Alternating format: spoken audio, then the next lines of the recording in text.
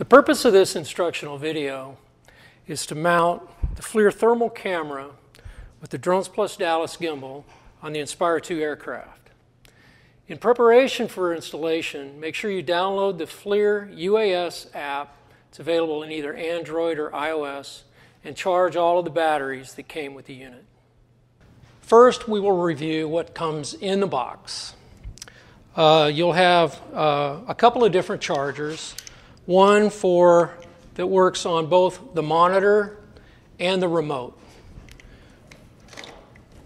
You'll have another charger that will charge the LiPo battery that powers the gimbal camera assembly.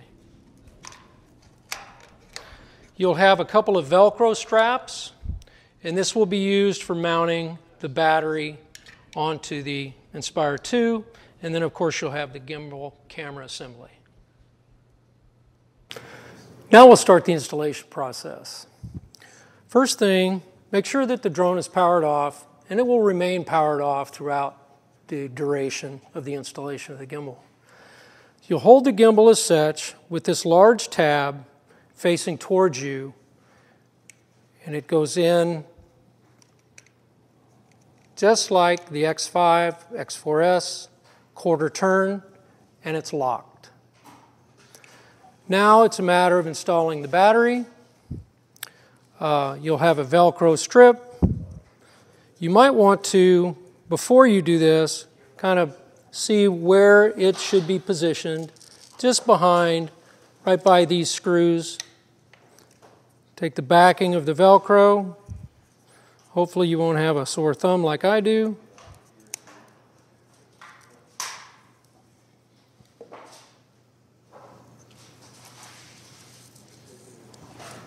And then position the battery, and the leads of the battery go to the right.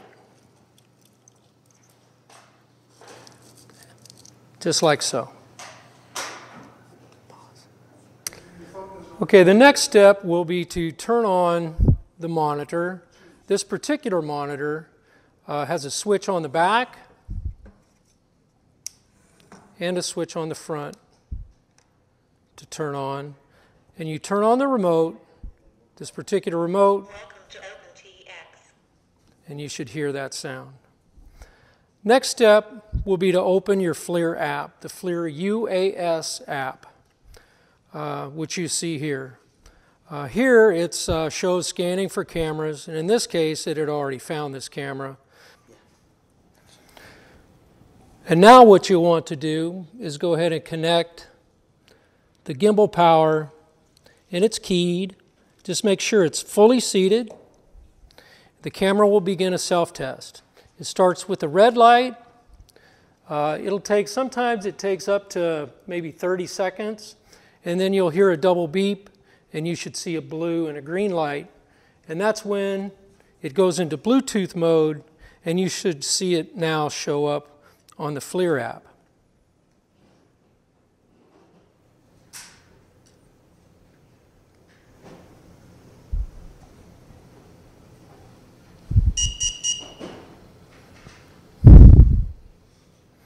Now you should be connected, and now it's just a matter of choosing the camera that it found, and then it will connect and it will go into the app. Now, the purpose of the app is to configure the camera. You won't always necessarily have to do this step. Um, if you're doing repetitive applications, the same use case, you may never have to go back into it. But this is where you go in and you set the camera up to either take stills or video.